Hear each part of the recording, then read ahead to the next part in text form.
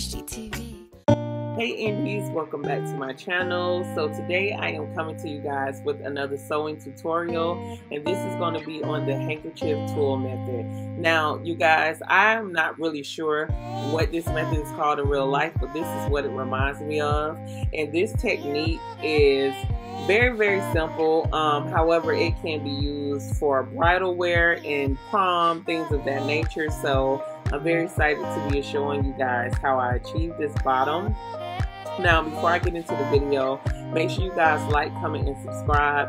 Help me reach my goal of 1,000 subscribers. And without further ado, let's get into the video. Now, my friend Quincy came in to help me cut down this tulle now what we're going to be doing is taking a 10 by 10 inch square. This is what we created ourselves, okay? So this is a 10 by 10 inch square. You would need it this size to create the bottom, the type of bottom that I created. However, the size can be a range of up or down. It can be done in layers, 8 by 8, 10 by 10, 12 by 12, or you can do it all as one size. But the bigger the, size, the more tulle you're going to use. The smaller the size, the more tulle you're going to use to have to fill in the circle. Okay, so just kind of keep that in mind. Now, what we're doing is we split the tulle in half. We're using a 40 yard tulle bolt. Now, this was purchased from the tulle shop. Um, this is tulleshop.com. All of the products that I use will be linked down below in the description box. Okay, you guys? But for this particular bottom, I use four 40 yard tulle bolts from the tulle shop. So that is 160 yards. Now, the bigger the circle skirt, the more tulle that you're going to use. Now, as you can see, we're getting to the end of this particular 40 yard bolt. It'll be a little bit less than your 10 by 10 square, but you're going to want to keep that extra tulle because it's going to come in handy um, later on, especially if you know you get to the top of your um, circle skirt and you realize you don't have that much tulle left. So don't throw the extra tulle away. You'll just need to um, gather it up with the rest of it.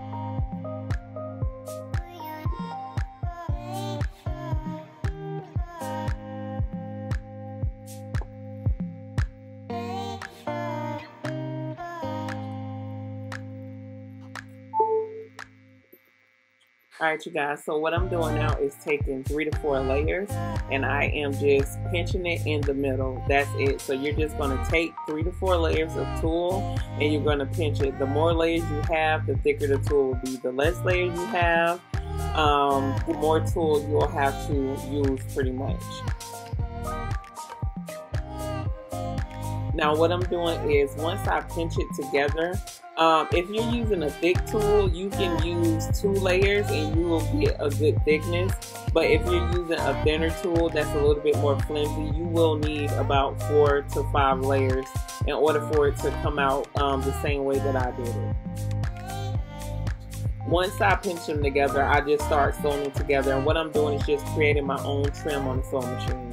It's really easy. The only thing is, um, it's I want to say it took me about two hours to do this. So to gather up all the tulle bolts, it took me about two hours to gather them all up. Um, once you catch your rhythm, it's pretty it's pretty easy and it's pretty self-explanatory. But you're gonna need to gather all of the tulle. Don't leave no tulle look ungathered or unpinched.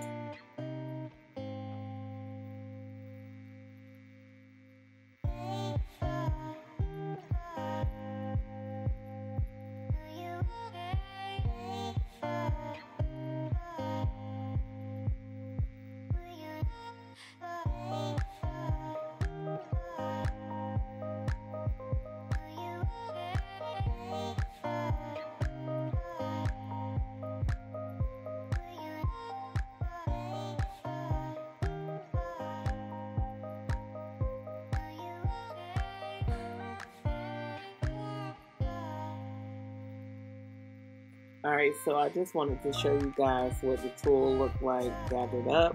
And now this is my circle skirt. My circle skirt for this particular gown was pretty wide. And again, the wider the circle skirt, the more you're going to have to gather. So just kind of keep that in mind because when I tell you it was a beast, like as I started to sew the tulle down, I'm not going to lie, y'all. I regretted it. I was like, man, why did I cut this circle skirt this wide? But then as I kept going, I was like, okay, girl, you just got to see this through. So that's what she did, honey. I just saw it through.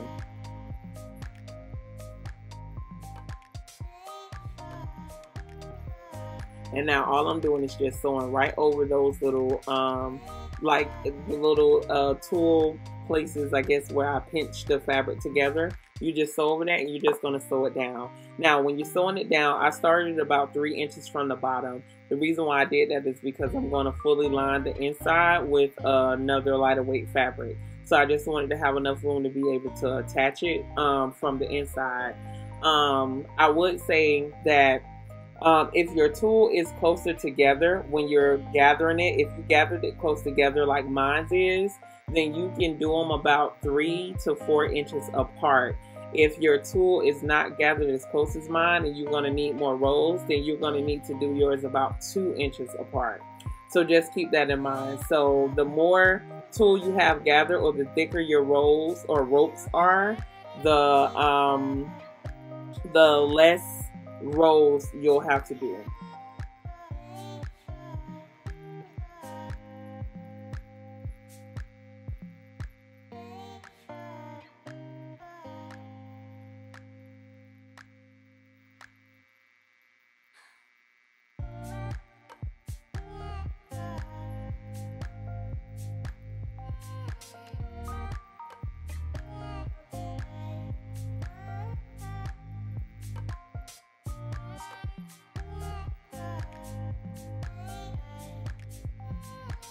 Clearly I don't know what I was um who I was texting but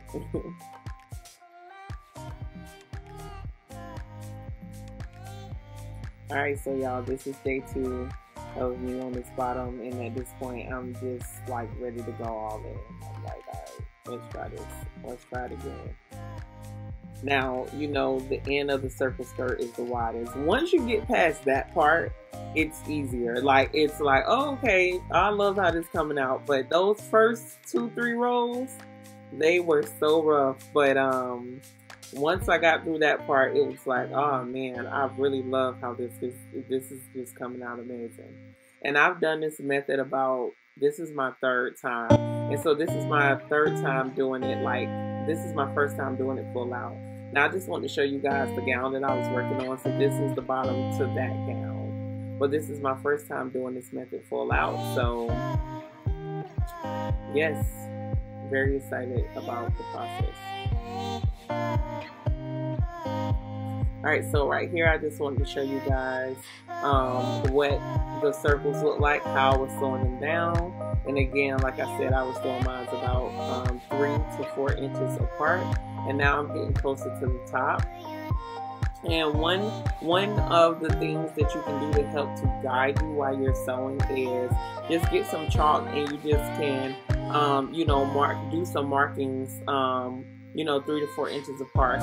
And once you put those guidelines on there for you, it'll make your sewing the um, bottom really easier because it's really big and it's just like you kind of get lost on the fabric. So if you create those markings for yourself with some type of chalk or something it'll be really easy for you to sew. Alright so right here is um, just the gown. I wanted to show you guys what it will look like. And this is just pant. This is not um, you know 100% complete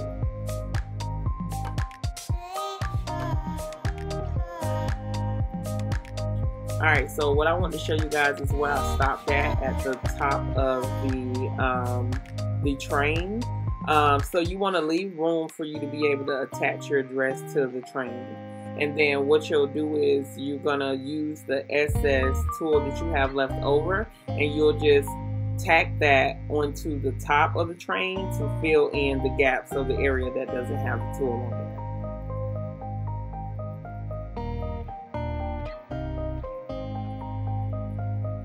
So I'm just going to show you guys how I do that. And it's really simple.